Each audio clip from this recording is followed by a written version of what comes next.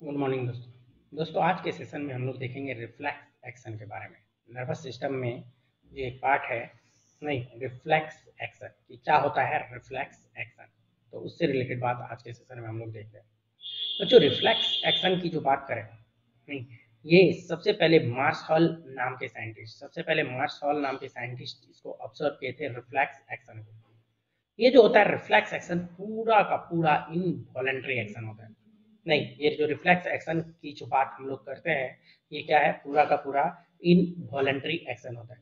Reflex action जो होता है, बहुत ही फास्ट होता है वेरी क्विकली होता है। नॉर्मल एक्शन के कंपेयर में अगर हम लोग बात करें तो जो रिफ्लेक्स एक्शन होता है, वो क्या होता है? बहुत ही फास्ट होता है क्विक होता है। इसका क्विक या फास्ट होने से, नहीं, होने से कोई एडवर्स इफ़ेक्ट इसमें नहीं होता है।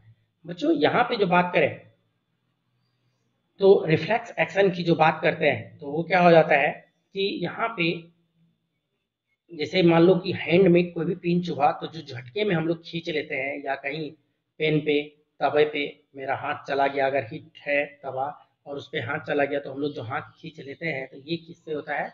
ये रिफ्लेक्स एक्शन से होता है। नहीं रिफ्लेक्स एक्शन में क्या होता है? एक स्टिमुलस होता है और स्टिमुलस को रिसीव करने वाला रिसेप्टर्स होता है और रिसेप्टर जो आया तो इसको सेंसरी नर्व इसको सेंसरी नर्व हमारे कहाँ पे लेके जाएगा? स्पाइनल कोड में लेके चला जाता है।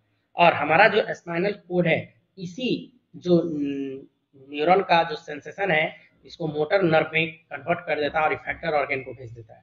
और देन वहाँ पे क्या हो जाता है? इफेक्टर ऑर्गेन जो है, वो रिस्पॉन्स शो कर देता है।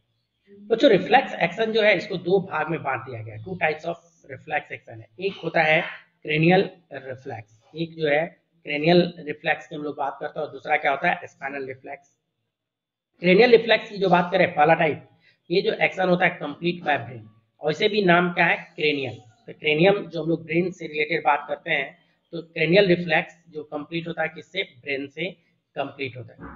खास बात इसमें यह है कि इसमें कोई अर्जेंसी रिक्वायर्ड नहीं होता है. कोई अर्जेंसी क्रेनियल रिफ्लेक्स की जो बात करें, कोई अर्जेंसी इसमें रिक्वायर्ड नहीं है. क्रेनियल रिफ्लेक्स ये जो होता है स्लो एक्शन होता है। जैसे इसका बेस्ट एग्जांपल है watering of mouth to see good food अच्छे फ़ूड का नाम सुन के, देख के जो मुँह में हम लोगों का पानी आ जाता है, ये किसमें आता है? ये क्रेनियल रिफ्लेक्स की हम लोग बात करते नहीं तो क्रेनियल रिफ्लेक्स हो गया। और इसी में जो हम लोग बात करें, यहाँ पे जो रिफ्लेक्स एक्शन है तो यहाँ रिफ्लेक्स एक्शन को पूरी तरह से कंप्लीट करने का जो एक पाथ होता है तो जिसको हम लोग क्या बोलते हैं? रिफ्लेक्स जो स्टिमुलस है, ये स्टिमुलस सेंसरी वाला नर्व रिसीव करता है और हमारा डॉर्सल रूट गैंग्लिया होते हुए हमारा कहाँ चला जाता है? स्पाइनल कोड के ग्रे मैटर में चला जाता है। और यहीं पे फिर इसको मोटर में कन्वर्ट कर दिया जाता है। ये जो रेड लाइन आपको दिख रहा है, ये मोटर वाला है और ये मोटर वाला वेंट्रल रूट गैंग्लिया होते हुए बाहर आ जाता है। नहीं, यहाँ पे बाहर आ जाता है और ये विसरल इफेक्टर ऑर्गेन पे चला जाता है और ये रिस्पॉन्स शो कर देता है। ये जो एक पाथ आपको दिख रहा है, ये जो आर्क है, इसी को हम लोग क्या बोलते हैं? रिफ्लेक्स आर्क रिफ्लेक्स आर्क जो दूसरा रिफ्लेक्स सेक्शन मैंने अभी अभी बताया था, जिसको हम लोग क्या बोलते हैं? स्पाइनल रिफ्लेक्स तो स्पाइनल रिफ्लेक्स जो होता है, नाम से ही क्लियर है कि स्पाइनल कोड के द्वारा ये कंप्लीट होता है। स्पाइनल कोड इसको कंप्लीट करता है। और आपको मैं बता दूँ कि स्पाइनल रिफ्लेक्स जो होता है, ये अर्जेंट होता है। यहाँ पे अर्जेंसी रिक्वायर्ड होता है। नहीं यहाँ जैसे इसका बेस्ट एग्जांपल है displacement of leg at the time of pinching of any needle कोई भी निडिल का जिस समय पिंचिंग होता है, उस समय हमारा जो लेग है, वो जो डिस्प्लेस हो जाता है तो ये किसका है? तो स्पाइनल रिफ्लेक्स होता है, जो अर्जेंट होता है। जो अर्जेंट होता है। जैसे इसमें भी देखें तो इसमें भी एक इफेक्टर ऑर्गेन होता है।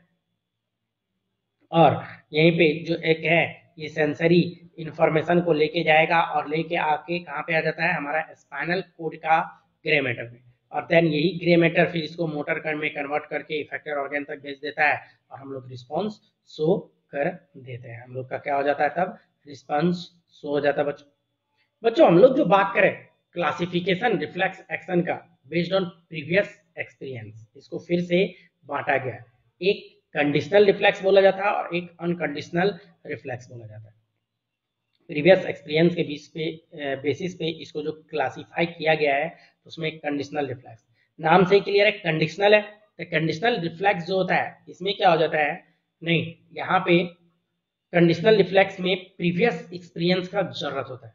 कंडीशनल रिफ्लेक्स की जो बात करें तो जिसमें क्या होता है? प्रीवियस प्रीवियस जो एक्सपीरियंस है, उसका ज़रूरत होता है किसमें? कंडीशनल रिफ्लेक्स में। जैसे स्विमिंग साइकिलिंग डांसिंग सिंगिंग, ये सब किसमें आता है? कंडीशनल रिफ्लेक्स में आता है।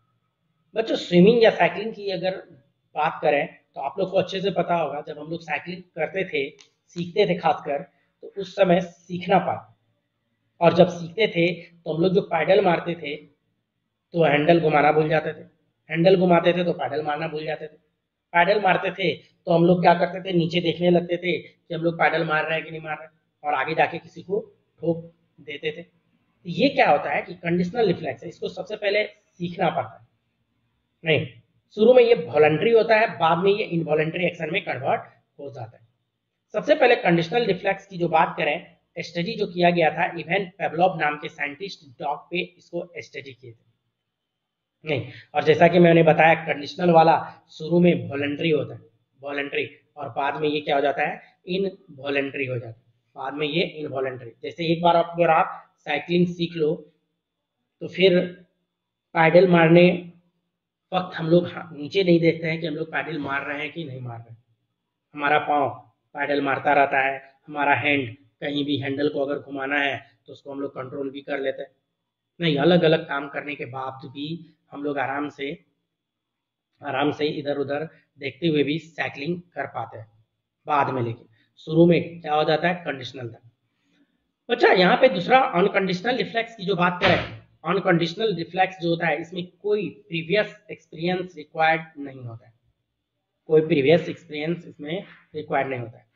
अनकंडीशनल की जो बात करें, जिसमें स्नीजिंग आता है कफिंग आता है सेक्सुअल बिहेवियर जो अपोजिट सेक्स पार्टनर के प्रति होता है इवन माइग्रेशन ऑफ़ वर्ड ये सब क्या है? अनकंडीशनल रिफ्लेक्स बच्चों रिफ्लेक्स एक्शन की जो बात करते हैं तो रिफ्लेक्स एक्शन जिस आर्क से जिस पाथ से जो कंप्लीट करता है तो उसी को हम लोग बोल देते हैं रिफ्लेक्स आर्क तो इसी चीज़ को बोला जाता है path of completion of reflex action is called reflex इसमें क्या हो जाता है, एक सेंसरी फाइबर प्रेजेंट होता है, जो इंफॉर्मेशन ले जाने का काम करेगा।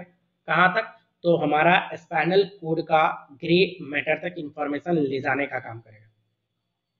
और यहीं पे उस सेंसरी इंफॉर्मेशन को कन्वर्ट कर दिया जाता है मोटर इम्पल्स और ये मोटर वाला हमारा स्केलेटन मसल्स तक इंफॉर्मेशन लाने का काम करता है। और यही जो पाथ हो जाता है, इसी को हम लोग क्या बोलते हैं? रिफ्लेक्स आर्क रिफ्लेक्स आर्क जो होता है, ये दो तरह का होता है। रिफ्लेक्स आर्क की टाइप की बात करूँ तो ये दो तरह का होता है। एक होता है मोनो सैनेप्टिक मोनो मतलब एक सैनेप्स कनेक्शन एक कनेक्शन होगा तो हम लोग उसको क्या बोलेंगे? मोनो सैनेप्टिक रिफ्लेक्स आर्क और एक होता है पोलिस रिफ्लेक्स आर्क मोनोसैनेप्टिक की जो हम लोग पहले बात करें मोनोसैनेप्टिक वाला जो होता है तो इसमें सिंपल सा है कि जो सेंसरी वाला है और जो मोटर ये डायरेक्टली एक दूसरे से कनेक्टेड होता है। डायरेक्टली एक दूसरे से कनेक्टेड है। बेस्ट एग्जांपल स्ट्रेच रिफ्लेक्स जो होता है, ये क्या हो जाता है? मोनोसैनेटिक जैसे आप इस फिगर में देखो, यहाँ पे अगर इस फिगर में गौर से देखो तो यहाँ पे क्या है? इन्फॉर्मेशन डॉर्सल साइड से लेके आता है बैक साइड से। और यहीं पे एक सैनेप्स यहाँ पे। यही सेंसरी वाला डायरेक्ट क्या होगा? ये मोटर से कनेक्ट अगर रहता है तो हम लोग इसको क्या बोलते हैं? मोनो सैनेप्टिक बोलते हैं और एक क्या हो जाता है? पॉलीसैनेप्टिक जो यहाँ पे आपको दिख भी रहा है। पॉलीसैनेप्टिक जिसमें क्या हो गया? इंटर न्यूरॉन दो के बीच में इंटर न्यूरॉन जब प्रेजेंट रहता है तो हम लोग इसको क्या बोल देते हैं? पॉलीसैनेप्टिक बोल देते हैं।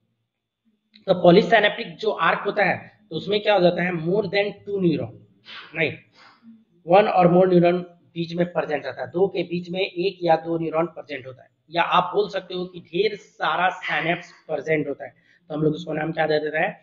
पॉलीसैनेप्टिक विड्रवल रिफ्लेक्स इसी में आ जाता है। पॉलीसैनेप्टिक की जो बात करते हैं। इसमें देखो, ये जो सेंसरी वाला इंफॉर्मेशन जो ले जाने का काम करता है, इधर से लाया। यहाँ पे लाया और यहाँ पे बीच में इंटरकनेक्टेड है। इंटरकनेक्टेड तो एक यहाँ पे सैनेप्स प्रेजेंट है और दूसरा सैनेप्स इस जगह पे प्रेजेंट है और इसी को फिर इंफॉर्मेशन को मोटर में कन्वर्ट करके यहाँ पे भेज दिया जाता है। तो इस तरह से जो होता है, ये क्या हो जाता है? पॉलीसैनेप्टिक हो जाता है। तो ये क्या हो गया? पूरा रिफ्लेक्स एक्शन के बारे में हम लोगों ने आपको बताया। थैंक यू थैंक यू दोस्तों।